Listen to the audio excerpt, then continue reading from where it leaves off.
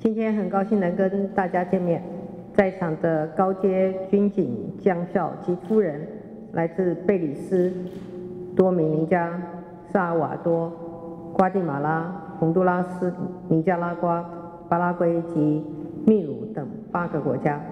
在这里我要代表我国人民及我们的三军官兵，向各位表达最热诚的欢迎。我从上任以后就已经出访两次，在座的一些好朋友的国家，巴拉圭、洪都拉斯、尼加拉瓜、瓜地马拉以及萨瓦多，我都去过，也留下了深刻而美好的印象。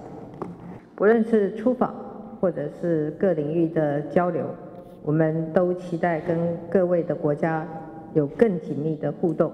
像远鹏班有悠久的历史，是我们在国际上重要的军事交流项目。透过远鹏班的机制，在军官养成、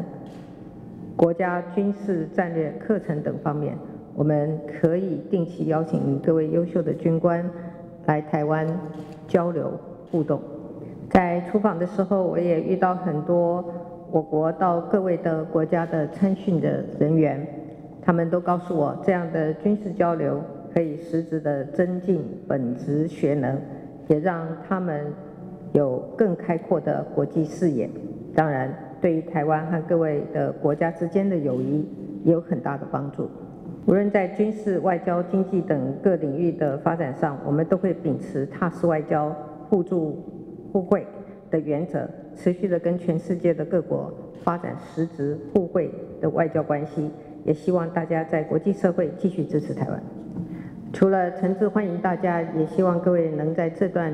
交流的期间，对台湾有深入的认识，建立未来长久的友谊。祝福大家学成顺利，收获丰硕。谢谢大家。